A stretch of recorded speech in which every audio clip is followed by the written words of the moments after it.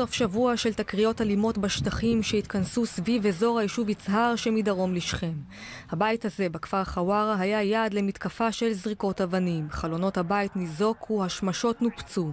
מוחמד עודה הוא אחד מהתושבים שהיה עד להתרחשות ונפצע לדבריו מאבנים שהשליכו עשרות מתנחלים, קצתם רעולי פנים. 70 80 مستوطن نزلوا علينا ضربوني ضربوا حماتي ضربوا اخوي راحوا على المستشفى كسروا الدور علينا والليله ما نمناش طبعا انا والاولاد الاولاد ما نزلوش على المدرسه عندي من التوجيه برضه صار عندها مشكله يعني من الخوف פלסטינית כבת 70 נפגעה בראשה והיא עדיין מטופלת בבית החולים בשכם, מצבה בינוני. اجوا علي وصاروا يضربوا في تحاوطوا يضربوا في في حجار وبعد بعرفش זה אירוע חמור מאוד. אה, מתנחלים שחצו את כל הגבולות, חצו את כל הקווים והגיעו ותוקפים, וזה לא הפעם הראשונה שהם תוקפים פלסטינים. מעבר לנפגעים הפלסטינים, מה שהדליק נורה אדומה היה תקיפתו של קצין צה"ל שספג אבנים בשעה שבא לטפל באירוע. אני לא מופתע ששר הביטחון גינה את התקיפה של החייל על ידי הפורעים, על ידי הפושעים, ולא גינה את המעשה של תקיפת האישה הזקנה בת 70 שנה ממרחק של אפס, שנתנו לה אבן אה, בראש.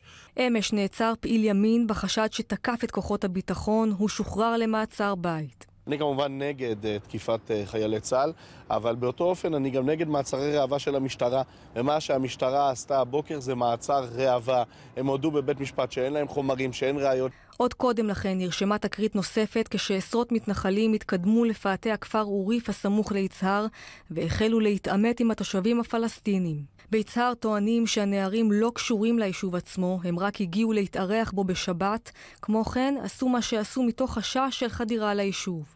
ובגזרה אחרת, באזור בנימין, בואכה יריחו, פעילי ימין ממאחז הבלדים תקפו באבנים ואלות פעילי שמאל שליוו רועים פלסטינים מהכפר עוג'ה. אה, פעיל אחד אה, נשבר היד, שבר קשה, פעיל אחר נפתח לו הראש. בשנה האחרונה, אחרי עשרות שנים שהם ראו למעלה ההר, הם לא יכולים יותר בגלל שהופעלה אלימות ממאחז הבלדים. מספרים שהם הלכו לראות צאן, הצחקתם אותנו. בשטח שהם היו שם הוא שטח מדברי, אין שום ראיית צאן.